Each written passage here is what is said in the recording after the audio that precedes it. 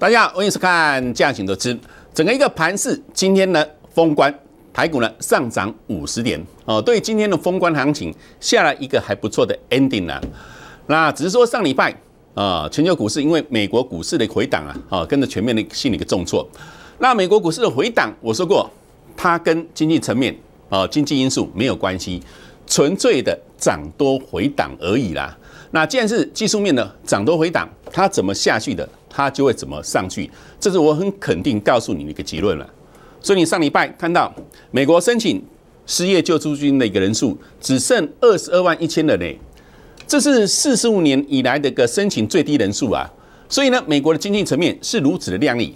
那技术面的回档呢，短线或许你会有点担心，但中长线股市要不要反应景气嘛？我就问你这个重点啊。哦，所以对于美国股市。目前来看，我说过，连头都还没看到啊！不管是美国的科技股，还是美国的一个道琼啊，你有看到什么头吗？没有哎。上个礼拜五，呃，美国股市都还收脚止跌啊。那所以对于台股，哦，这波的急杀，你所看到是台股跌了一千多点呢。我所看到是筹码很干净了，导播自拿掉。上礼拜台股回档下来，融资大减一百多亿啊。那大减一百多亿的一个台股，你不觉得它筹码面格外的一个漂亮吗？所以我现在选的标的，其实就是很多投票你融资被断头的标的啊，这是一个选股方向哦。所以我上礼拜我已经给你一个结论了，我持股是满档的，我准备爆股过年哦。从急杀的过程当中，筹码被清理的那么干净啊，哦，这是一个非常好的一个进场时机点啊，难得啊，台股急杀。这样一千点不见嘞，股票市场讲究的是一个风险跟成本的考量嘛。那现在在相对低档啊，你来跟我布局的一个成本跟风险是不是跟着降低？利润我说过，等开红盘之后，你一定会看到。那在封关这几天春节的期间，我认为呢，美国股市会不错。我认为至少要在崩跌的几率不高啊。上礼拜五道琼，呃，或是美国科技股都收脚啊。收脚止跌的讯号相当明显啊！我希望在开红盘之后，我们所给你超额利润的这些个股，你都可以跟我一起共同来掌握。当然，我要客观的跟你分析美国盘或是台湾盘，它有没有可能 V 型反转？你觉得有这样可能性吗？马上就大涨，美国科技股创新高，美国道琼马上大涨创新高吗？台股呢？马上大涨创新高吗？摩可能的代机啊，经过一番的一个修正，急杀修正，它顶多是反步整理再定高，安内都高啊，安内都高啊，哦，希望在目前的一个低档区，你布局股票的眼光要看的比较远一点，不要短线呐。如果只是短线来布局，你一样会被扒来扒去哦，才会意思不？哦，所以呢，上礼拜我告诉你，持股满档，爆股过年了。这是我的长线的看法啦，啊，因为毕竟全球股市的回档跟经济层面景气没有关系嘛，技术性的回档伴随的融资余额被断的相当干净，它怎么下来的？它怎么上去？只是时间要久一点而已啊。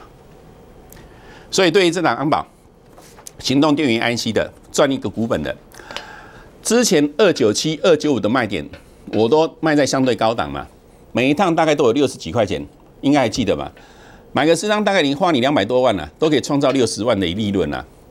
那最后一次的卖点是一月十八号的三一三卖，一月十八号我卖了哦，最后一趟卖点。那一月二三号还谈到三百一，我说你还是要先卖，你还是要先卖，为什么？整个一个狼狼宝量能已经退潮嘛，退潮代表它往上的空间不大嘛。所以我在一月二三号告诉你，还是要卖啊，不卖就下来啊。那因为台股回档了很快嘛，所以昂宝才有这样的一个买点让你进场啊。说实在的，哦，所以有时候操盘的一个节奏性，那个买卖的依据，对你财务的规划当然具有关键性的影响啊。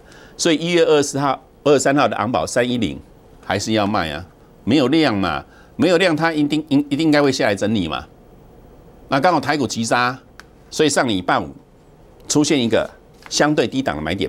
我讲过了嘛，呃，在这个附近其实你布局的风险相当低呀。所以上礼拜五站在买方啊，所以我选的股票就近期融资被断的很干净的绩优性的个股啊。上礼拜五的昂宝买了几块钱，九点十九分呐。昂宝的分析嘛，相对低档啊，布局风险相当低，二四六附近买回啊。经过四分钟，股价二四五点五，你去对时对价。上礼拜五利用台股盘中急杀三百多点嘛，还记得吗？上礼拜五啊，急杀三百多点，昂宝二四六买回啊。盘中二六二，尾盘二五三，虽然小跌五块钱，但你跟我买在二四六的，当天你是会赚钱的，因为尾盘收二五三呢。今天昂宝的股价呢，盘中二六六，如果高低点来算的话，二四六到二六六。两个交易日啊，大概有二十块钱的利润啊，你知道意思不？那当然，今天因为要封关呐，所以呢，不管是大盘还是个股尾盘比较会有获利性的卖压出来啊，哦，这是一个很正常现象。所以对昂宝这种高价股的一个操作，有价差我赚价差，有波段我一定不会手软了。前两次这边都有六十几块钱呢。哦，应该投票人都还记得吧？很漂亮的动作哦。所以低档买，高档出，高档出完低档再接回，这样一个操盘节奏性，纵使经过台股回了一千多点，你来跟我操作昂宝的，有受伤吗？嗯，有让你受伤吗？没有吧？所以呢，掌握绝对的优势，在盘中讯息，我给你指导进出，真的非常有价值。真的非常有价值的。那另外一档高价股环球金，你来看一下。当我一月二三号四七九卖掉之后，这时间价位都跟你对过哦。八趟七胜一负啊，啊，累计报酬率两百六十一块钱呐。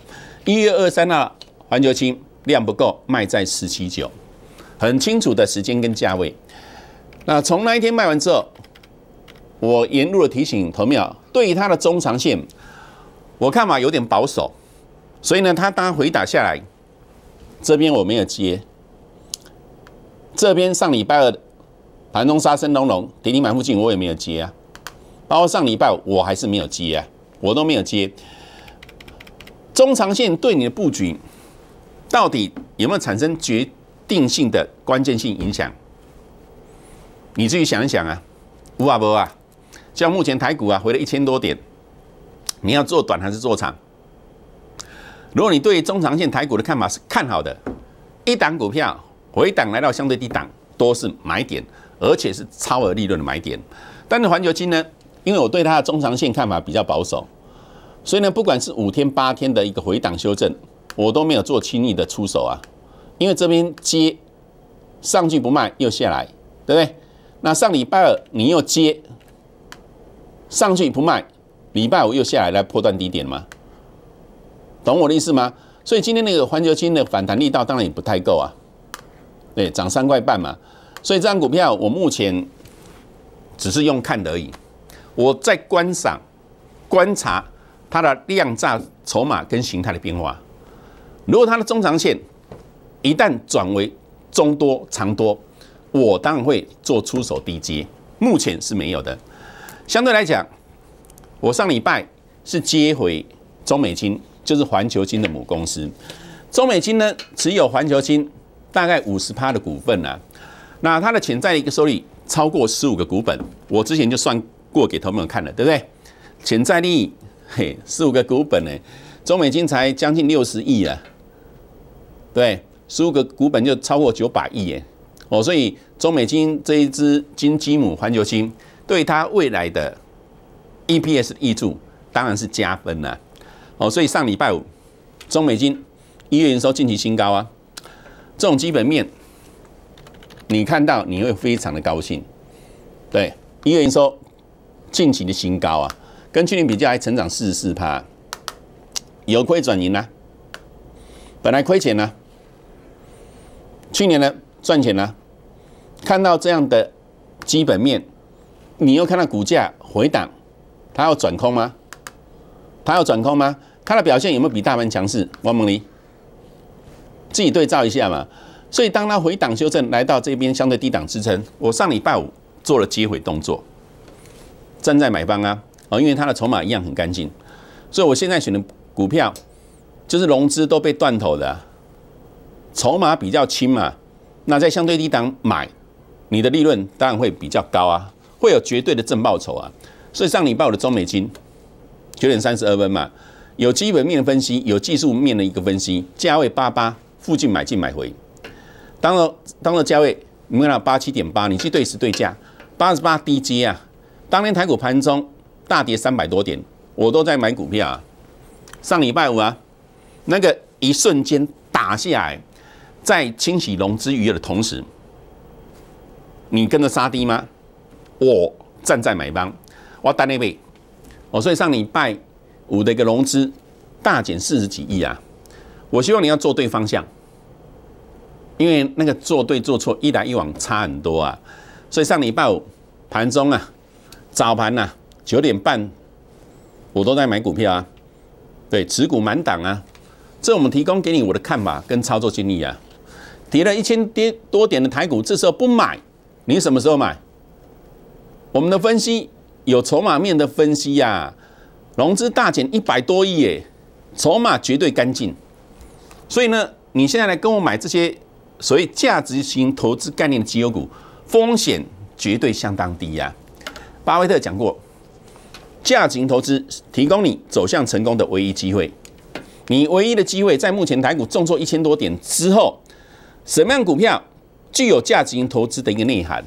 那真的相当重要。中美金当然是其中一档，八八买进买回嘛，盘中拉高，尾盘八九。今天中美金的股价有点开高走低呀，啊，尾盘还是有获利性的卖压出来嘛。但你可以看到量缩啊，怎样缩代表它可能要整理个一段时间嘛。所以整一个中美金的一个架构有低点还是可以买。就如同我对大盘的分析嘛，大盘不管是台湾盘、美国盘，它会不会微型反转大涨特涨？没。所以有些个股。你就是要一点时间嘛，你不要做的太短了，做长一点，对你来讲成本比较低嘛，风险当然跟着降低呀。所以整个中美金的架构或许会在这边晃一下，那晃晃动的过程当中，经过春节期间之后，我认为它有机会往上走高，因为我分析过它的基本面嘛，持有环球金五十趴的股份，潜在利益可以创造十五个股本呢。哦，金天是太迷人了嘛，所以你当然要趁它回档的时候布局呀。这样中美金我们之前做了好几趟都赚钱啊，老同学应该很清楚嘛。所以近期的一个盘势啊，有些个股会受到大盘影响，稍微震一下，稍微量缩整理，黑龙摩金，它只要补量就会涨，包括这档元泰，目前在低档区嘛，你们看到一样量缩整理啊。导，嘿，导播谢谢。一样在量缩整理嘛，今天成交量剩六千多张啊，它只要补量就会涨啊，只要超过一万多张的一个成交量水准，它就会往上走高啊。所以呢，目前相对低档区，你只要选择价盈投资的概念绩优股，我相信从中长线它的一个筹码面，只要在一个融资相对低档，你的胜算绝对相当大哦。所以封关期间呐，春节期间。青老师还是推出年终感恩回馈的二分之一的优惠活动。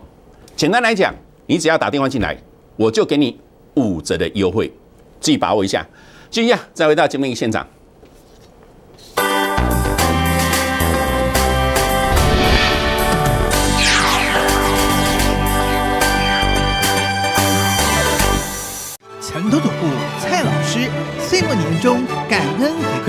现在入会全面五折。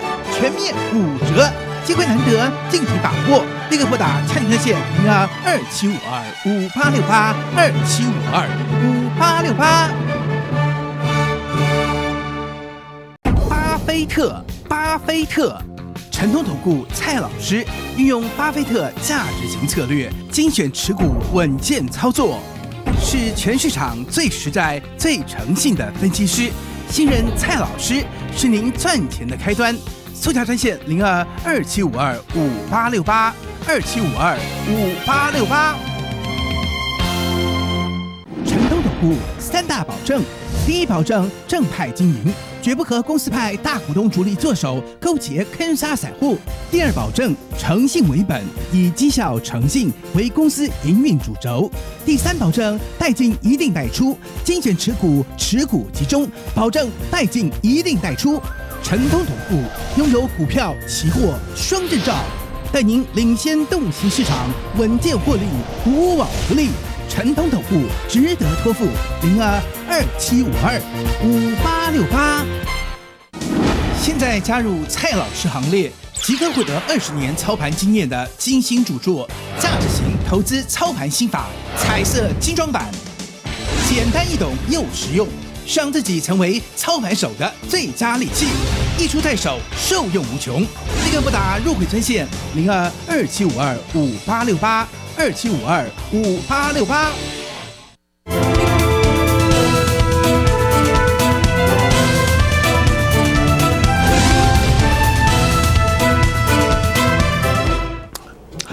欢迎回到节目的现场，台股呢已经在一个相对低档区，布局的优势在呃成本比较低嘛。另外呢，整个融资余额呢上礼拜大减了一百多亿，筹码相对的安全安定。所以你只要选择一些价值投资概念的绩优股来跟我逢低布局，我跟你讲，风险一定相当低啊！我选的股票，你放心大胆来跟我低接啊！因为高点该卖的，我都有带你卖嘛。这档文茂功率放大器的个股啊，之前高档三一八三一零有没有带你卖？对我为什么看到文茂功率放大器的三档股票啊？哪三档？全新嘛，红杰科、文茂啊。哪一档股票的一个基本面最好？你自己去比较一下嘛。三一零五的文茂，去年前三季赚六点零二，全新呢才赚一点五六，红杰科呢赚一点三四嘛。所以呢，我选股票有基本面的论述啊，不是青菜劲呀。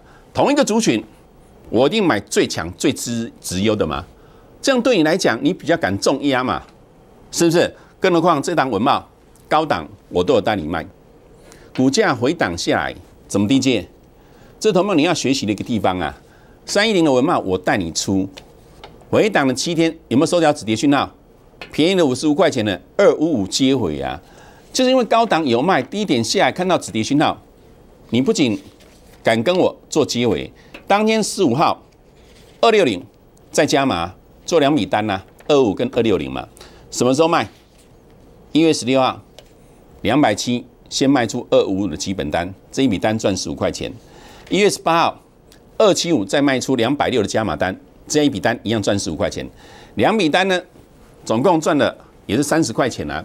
所以我说过了，文茂大概走，只要那种三十块的价差嘛，那一趟三十块钱，三万块嘛，那做个十趟呢，就三十万呢。那文茂的股价才两百多块钱啊。等于做个十趟，有机会赚取一倍的报酬率耶！所以整个一个文茂的架构，一月十八号二七五卖出加码单嘛，一月十八号二七五卖，卖完之后我当天有没有规划它接回的位置？就在这个区间，所以 V C R 我都放过了嘛，大概就在二四零附近嘛，还记得吗？一月十八号我卖掉之后，我不是告诉你大概这边要承接嘛？就在二四零嘛，所以什么是规划一档个股行情？嘿，不是容易哦呀！我不是在跟你事后放炮哎，我本来想说今天要把当时的 V C R 再重播一次给你看，但我怕观众会看得有点厌烦了啊！有看过就是有看过，我讲的跟实际上操作就是一模一样。赢家三部曲，我只要跟你规划好一档行情，而且跟你做预告，我就会告诉会员做执行动作。接下来呢，最终带会员获利下车啊，所以呢，二七五卖掉文茂，这边呢，二四零附近就接回啊，高档二七五有卖嘛，来到二四二接回啊，差了三十几块钱嘛，又低接啊，低接回来之后，二六二卖嘛，这样一买一卖又多了二十块钱了，是不是？一月三十号文茂卖在二六二，这一天卖啊，这边还有谈那个两三天呢，在二六零以上让你卖，没有错吧？所以呢，整个一个文茂架构，当它打下来，你看上礼拜台股这样杀声隆隆，文茂那个架构，因为基本面让它产生绝对的抗跌性，所以选股票要不要重视基本面？谁说分析股票、操作股票基本面不重要？如果你的一个操作纯粹就技术面来看，短进短出而已啦。你如果没有长线的基本面做靠山，你怎么赚大波段？对，如果对文茂的长线架构没有看好，我如何从价差的操作转为波段？摩可能的代级嘛。哦，所以整个文茂当二六二我卖掉之后，上礼拜是给你提示该怎么低接啊？上礼拜台股是杀声隆隆，文茂因为基本面产生相对的抗跌性嘛。上礼拜四来到二三三呢，差了二三十块钱呢。礼拜五高低点从二一到二零二十九块钱啊，你随便买随便赚。我上礼拜我已经跟你讲过了，我买进的个股大概都在九点半以前就布建好多单了。这样一买一买上去，高低点二九块钱，超过一根停板呢。那接下来文茂有没有机会变变波段？有没有嘛？你觉得它跟台股的一个架构来做一番比较，它是不是很抗跌？啊，为什么开抗跌？除了基本面，当然是量价筹码形态呀，懂我的意思吗？所以今天文茂跌啊，跌六块半呢，剩二四三了。上礼拜的低点在二二一啊，你买在这边，今天小跌一下啊，不，你就给它下，它已经在相对低档。而且是绝对的安全，它是绝对的安全呐。再对照一下大盘的走势，你就知了嘛。所以整个一个盘势，我上礼拜我已经跟你说我的看法，以及我给予会员的操作建议。跌了一千多点，相对低档的台股，因为筹码很干净，融资余额大减一百多亿啊。所以呢，我现在布局的股票就是融资被断头的这些个股，持股满档，爆股过年，这是我。带给会员的操作经理，所以今天呢还不错啦，台股呢涨五十点，算是对今年度的今年行情，哦留下一个还不错的哦美好的 ending 啦！我希望春节过后，台股开红板的一个架构，所谓的红包资金行情，我可以一步一脚印的用心带你继续赚下去。所以呢，再看一遍，目前在相对低档。融资余额断了一百多亿，筹码绝对干净啊！难得看到融资余额一个多礼拜大减一百多亿啊！所以这时候不买，什么时候买？汪梦妮，买股票相对低档要会买嘛？供打龙讲要供，但你走呢？你敢做一个？如果你没办法克服这样的一个心态，跌的时候不敢买，我来帮你买，我来带你买。青龙老师的反市场操作，喜欢在台股重挫的时候告诉你买买股票啊！而且是买强势性的绩优股啊，对，巴菲特讲的嘛，价值型投资的一个标的，提供你走向成功的唯一机会。你目前想要成功，你想要反败为胜，你就来找我就对了，好不好？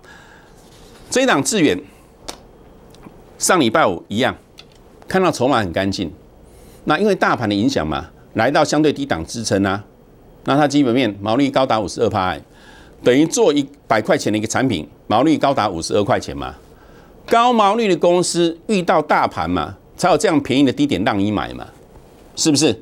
所以上礼拜我的资源九点二三分呢，有基本面的分析，有技术面的分析嘛。价位六十五块半附近买进，当价位经过十三分钟嘛，还在六十五块半了，你去对时对价，六十五块半一定买得到。这上礼拜我利用台股急杀嘛。逢低承接一档强势性的绩优股啊，高毛利的公司啊，上礼拜我买完之后盘中翻红，尾盘六八点二，那今天资源呢开高走低啊，收盘六六点二，量缩一样在整理，所以呢开完盘之后不量，我认为它还是会往上走高啊，所以我今天给你的结论是，资源有低点还是可以上车，这我很肯定告诉你一件事情啊。所以现在的一个行情架构，台股呢，它不可能马上一系反转，它不可能扶摇直上啊，哦，顶多是一个缓步垫高的整理架构。所以你现在布局的个股，眼光要看得比较远一点，不要太短线。短线的操作，你容易被扒来扒去啊，你赚不到大钱啊。所以对今天台股呢，封关的一个行情，涨了五十点，还不错啦。哦，因为目前的台股呢，融资额大减一百多亿，这是头面你部件多单很好的时机啊。哦，所以在春节期间，你只要打电话进来的，庆老师一样给你年终感恩大回馈，全面二分之一的优惠。简单来讲，就是五折。就是五折的优惠，愿意跟我合作的，欢迎你打电话进来，明天见。